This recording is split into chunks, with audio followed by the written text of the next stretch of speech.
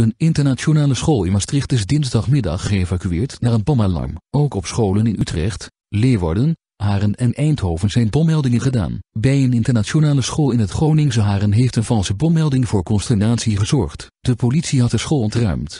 Meldt RTV Drenthe. Uit onderzoek bleek dat het om een valse melding ging. Een grappenmaker die schijnbaar meerdere scholen in Nederland heeft gebeld. Zei rector Hans Boers tegenover de regionale omroep. Eveneens op een internationale school. In Leeuwarden is een ontruiming geweest na een bomalarm. De politie meldde dat er na onderzoek niets werd aangetroffen. Ook zou er een bommelding zijn geweest in een internationale school in Den Haag. Of de bommeldingen met elkaar in verband staan is onduidelijk. Maastricht. Volgens bronnen rond de internationale school in Maastricht kwam er om 13 uur een telefoontje binnen waarbij een Engels sprekende persoon zei dat er een bom in het gebouw zou liggen. Daarna ging het brandalarm af en moest iedereen naar buiten. De vele honderden leerlingen en docenten werden opgevangen in een sportcomplex bij de geslutpunt. De politie doorzoogt het gebouw aan de discusworp. Maar er werd niets gevonden. Utrecht. Een woordvoerder van de politie laat aan nu.nl weten dat er een telefonische melding was binnengekomen over een bom in een gebouw op het Janskerkhof. Het gebouw is vervolgens uit eigen beweging van de medewerkers ontruimd. Het gaat om een gebouw van de Q,